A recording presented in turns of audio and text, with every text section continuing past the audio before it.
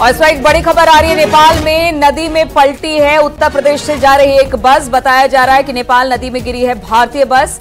हालाँकि हादसा कैसे हुआ है, अब तक इस बात की जानकारी नहीं मिली है, लेकिन ये खबर आ रही है, नेपाल में नदी में आ, एक बस गिरी है बताया जा रहा है कि उत्तर प्रदेश से ये नेपाल की तरफ़ जा रही थी जब नदी में ये बस गिरी है। नेपाल के पोखरा में यह हादसा हुआ है। भारतीयों से भरी बस नदी में गिर गई। हादसे के वक्त बस में 40 यात्री सवार थे। ये बस नेपाल के पोखरा से काठमांडू जा रहे थे। ये बस उत्तर प्रदेश नंबर की बताई जा रही है। हालाँकि कहाँ से चली थी कितने यात्री अभी सवार थे बहुत अधिक जानकारी नहीं लग पाई है लेकिन एक्सक्लूसिव तस्वीरें इस वक्त हम आपको दिखा रहे हैं। इस वक्त नदी में पूरी तरह से उफान है। आप समझ सकते हैं पूरी की पूरी बस इस नदी में गिरी है।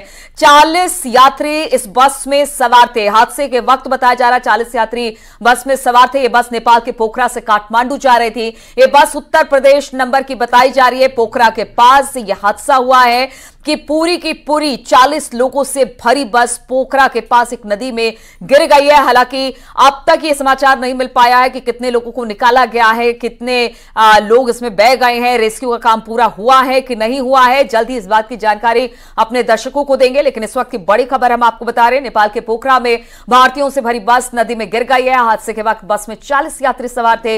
यह बस नेपाल के पोखरा से काठमांडू जा रही थी। बताया जा रहा है कि यह बस उत्तर प्रदेश नंबर की थी। तो नदी में बस गिरी है। आप देख सकते हैं नदी में किस तरह से उफान है। इस वक्त बरसात का मौसम है। अगर नेपाल की बात की जाए तो इसकी ज़्यादातर नदियाँ इस वक्त उफान पर रहती है और इस उफान के कारण कई बार बाढ़ की स्थिति उत्तर प्रदेश और बिहार में भी नेपाल की नदियों से होती है। और अब जब इसमें बस गिरी है तो बताया जा रहा है कि 40 लोग इसमें सवार थे। अब 40 लोगों का रेस्क्यू किया गया है। कैसे उनको निकाला गया है? क्या इस वक्त वहाँ पर जो लोग सवार थे, बस में उनकी क्या तादाद रही है, इस बारे में जानकारी नहीं लग पाई है। लेकिन हम आपको दिखा रहे हैं, मौसम बेहतर नहीं है, हादसा किस तरह से हुआ है, जानकारी जैसे मिलती है, अपने दर्शकों को देंगे। लेकिन बताया जा रहा है कि पोखरा के पास उत्तर प्रदेश नंबर की जो बस है, वो गिरी है इस नदी में। बताया जा रहा है कि पोखरा में भारतीयों से भरी ये बस है, हादसे के वक्त चालीस लोग करीब करीब सवार थे इस बस में। ये बस नेपाल के पोखरा से काठमांडू जा रही थी, जब ये हादसा हुआ। ये तस्वीरें सामने आ रही है, इसमें आप देख रहे हैं कि किस तरह से लोग वहाँ पर जुटे हुए हैं। रेस्क्यू ऑपरेशन शायद वहाँ पर चलाया जा रहा है लेकिन जिस तरह से नदी का बहाव है जिस तरह से नदी का फ्लो है उसमें लगता नहीं कि आ, कुछ अच्छी खबर यहाँ से निकलकर सामने आएगी, लेकिन वहाँ पर इस वक्त रेस्क्यू का काम चल रहा है। कितने लोग इसमें बस में सवार थे? क्या तादाद थी? कहाँ से लोग जा रहे थे? किस तरह से यह हादसा हुआ? यह अभी जानकारी आना बाकी है, जैसे ही ये जानकारी आती है, वैसे अपने दर्शकों को देंगे। लेकिन जो पहली तस्वीर इस वक्त सामने आ रही है, बातचीत करने के लिए राम गोपाल इस वक्त हमारे साथ जुड़ गए हैं। राम गोपाल, जरा ये बताइए कि जो खबर निकलकर सामने आ रही है कि उत्तर प्रदेश की एक बस थी जो नेपाल के पोखरा के पास दुर्घटनाग्रस्त हुई है, इस बारे में क्या जानकारी मिल रही है? बिल्कुल, ये बस टूरिस्ट बस्ती है और ये जो टूरिस्टों को लेकर वहाँ घूमने के लिए गई थी, पोखरा से ये काठमांडू दर्शन के लिए निकल रहे थे। और वहाँ पे रास्ते में ही ये दुर्घटनाग्रस्त हो गई है। इस बस में करीब पैंतीस से चालीस लोग सवार बताए जा रहे हैं और हालाँकि अभी ये प्रथम जानकारी है, इसमें और कितने लोग हैं और किस तरीके, कहाँ से आए थे, ये अभी प्राथमिक जानकारी सामने नहीं आई है। कुछ देर में जो नेपाल का प्रशासन है, वो पता लगाने की कोशिश कर रहा कि आखिर लोग कहाँ से आए थे और कहाँ को जा रहे थे।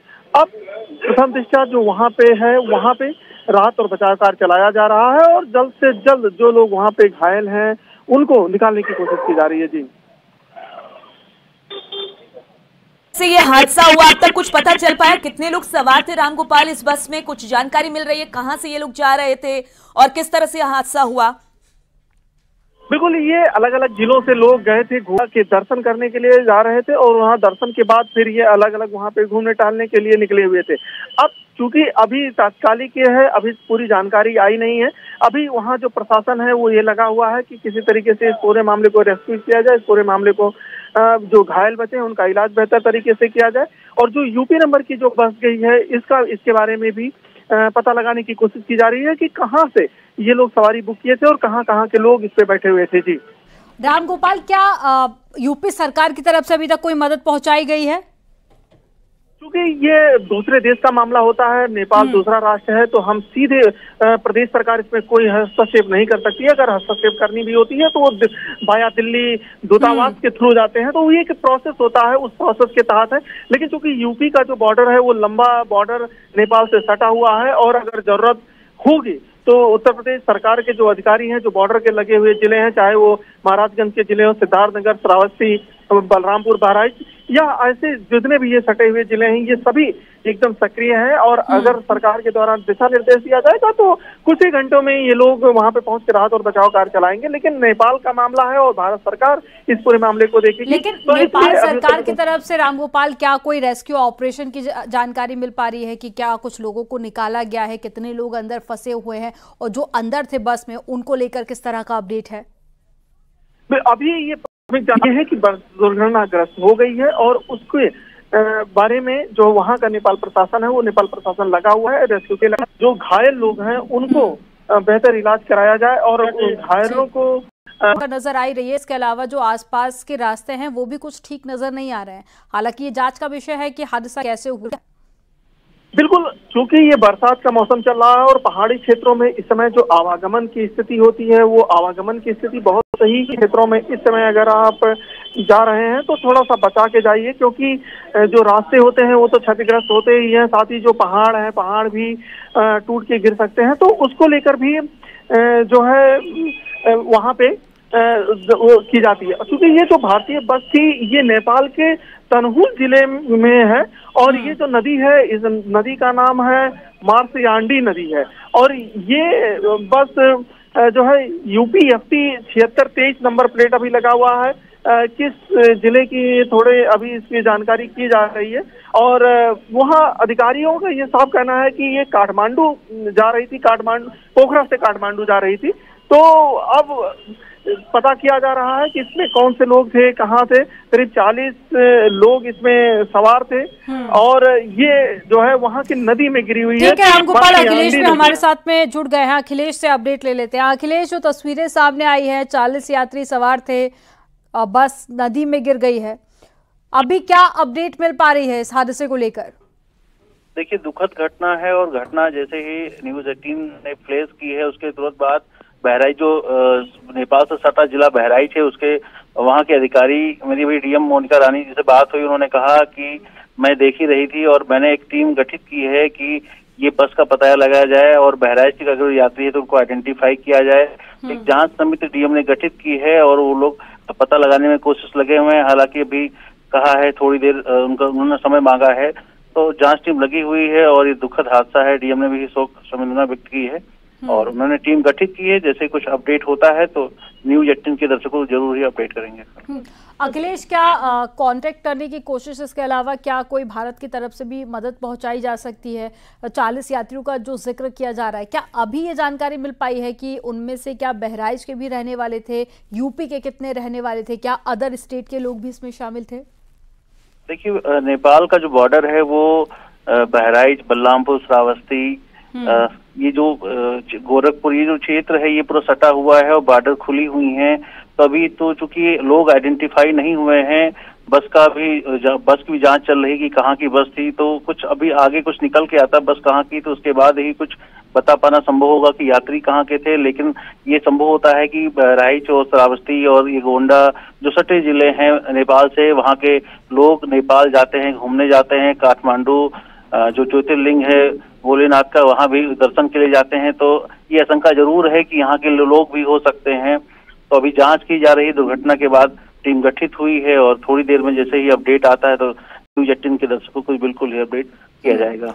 रेस्क्यू ऑपरेशन को लेकर किस तरह का अपडेट मिल पा रहा है? क्या सुरक्षित कुछ लोगों को निकाला गया है? हालाँकि ये अभी जाँच का विषय है, लेकिन अभी शुरुआती जाँच में क्या कारण निकलकर सामने आ रहा है इस हादसे का?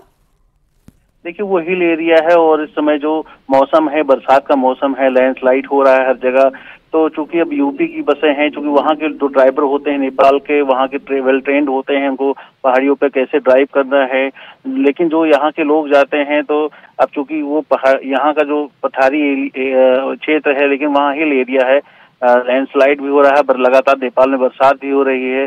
तो दुर्घटना किस वजह से हुई है ये तो जाँच का विषय है और नेपाल चूँकि दूसरा देश है तो डायरेक्टली तौर पे वहाँ किसी का रेस्क्यू के लिए जाना संभव नहीं होगा चूँकि दूसरा देश है जो भी होगा दूतावास के थ्रू ही होगा तो हालाँकि नेपाल प्रशासन लगा हुआ है कुछ अपडेट मिल नहीं कि रेस्क्यू अभियान वहाँ चल रहा है लेकिन हम्म। जैसे ही कुछ अपडेट आधिकारिक तौर पर मिलता है तो ज़रूर अपडेट करेंगे हम्म। लेकिन सोर्सेज के हवाले से कोई अभी तक अपडेट मिल पाया हो हालाँकि ऑफिशियली अनाउंसमेंट में हो सकता है कि थोड़ा इंतज़ार हमको और करना पड़े लेकिन क्या सूत्रों के हवाले से कोई अपडेट मिल पा रही है देखिए ये आशंका तो ज़ाहिर सी बात है जब खुला क्षेत्र है और लोग यहाँ से लोग घूमने भी जाते हैं दर्शन के लिए जाते हैं तो ज़ाहिर सी बात है कि क्षेत्र के लोग हो सकते हैं यूपी का नंबर था गाड़ी का तो अब चूँकि जाँच चल रही है लेकिन अब आइडेंटिफाई जब तक नहीं हो पाते तब तक आधिकारिक तौर पर अधिकारी भी नहीं कहते हैं कि यहाँ के लोग हैं लेकिन जाँच चल रही जैसे कुछ अपडेट होता है चंद मिनटों में आपको बिल्कुल अपडेट करेंगे दर्शकों को। हम्म। आ, लेकिन अखिलेश रास्तों को लेकर पहले से ही जानकारी सामने आ रही थी। आ, मौसम खराब चल रहा है ऐसे में कई जगह पर भूस्खलन हो रहा है नदियाँ भी उफान पर है।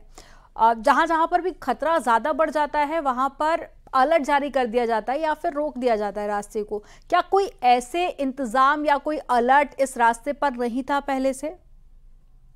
ऐसा है कि नेपाल, चूँकि नेपाल काठमांडू, नेपाल की राजधानी काठमांडू हो, काठमांडू जाने के लिए रास्ते, चूँकि सब पूरा दुर्गम एरिया है, पहाड़ी क्षेत्र है हाईवे है, लेकिन होता कहीं है कि कभी ऐसा भूस्खलन हो गया लैंडस्लाइड हो गई, बरसात हो रहा है तो जारी रहता है उनका अपना प्रोटोकॉल रहता है लेकिन उसके बावजूद भी कभी ऐसा होता है कि कहीं चूक हो जाती है तो चूक की वजह से ऐसी घटनाएँ हो जाती हैं।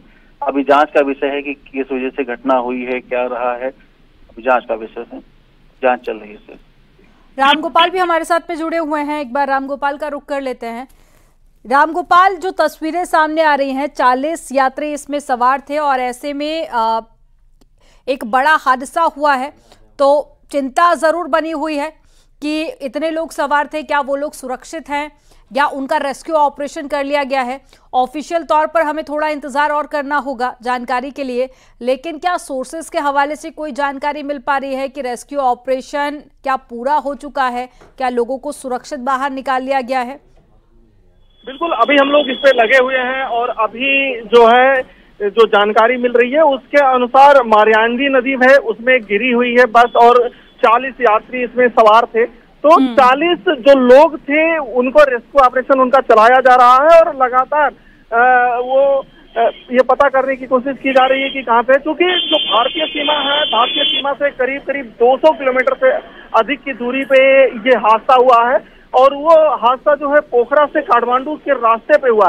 इस वक्त चूँकि नेपाल में बहुत बारिश हो रही है और बारिश के कारण जितनी भी पहाड़ी नदियाँ हैं, वो सभी उफान पे हैं। इसी कारण आप सिर्फ़ नेपाल में ही नहीं, आप पूर्वांचल में भी देखिए और पूर्वांचल से जितनी भी नदियाँ के बह रही है, उत्तर प्रदेश की अधिकतर नदियाँ इस वक्त चढ़ाव की तरफ़ है और सभी नदियाँ खतरे के निशान के करीब करीब पहुँच रही है। तो नेपाल में जो बारिश है, उस बारिश का असर यहाँ पे दिखाई पड़ रहा है।